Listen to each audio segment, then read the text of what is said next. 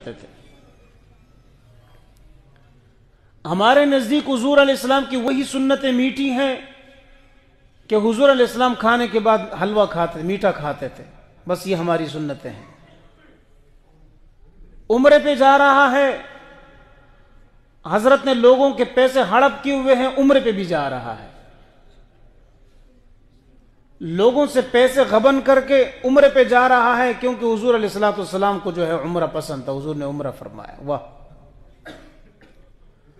हालाँकि हक ये है कि हुजूर सलाम उस शख्स का जनाजा नहीं पढ़ाते। अगर आप पूछते कि इस पर कर्जा है और साहबा कहते कि कर्जा है तो आप सल्लल्लाहु अलैहि वसल्लम उसका जनाजा नहीं पढ़ाते।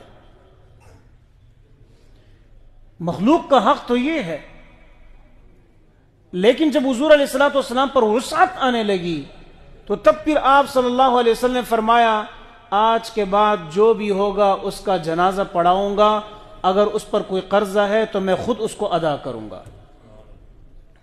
लीडर तो ऐसा होता है, जो कर्जा था, हजूर सलाम अपनी जेब से उसको अदा फरमाया करते थे। हमारे यहाँ सिर्फ़ मीठी सुन्नतें हैं।